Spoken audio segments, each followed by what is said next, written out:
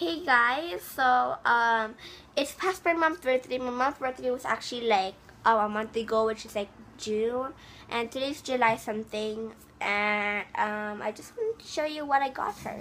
So, first thing I got is a giant nail polish piggy bank that says glam and then it has purple glitter and then it's a piggy bank and then because there's like a hole where she can put her money in and then she didn't even put any money in here yet.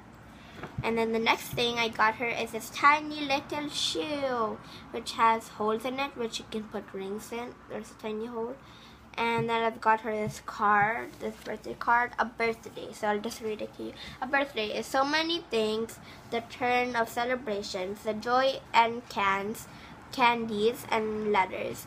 With since congratulations, the thrill of opening presents that are tightly wrapped and tied, holding many sweet happiness with a lot of love inside.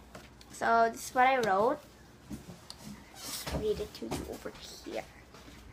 Um, says, Hi mom, thanks for being the best mom on earth.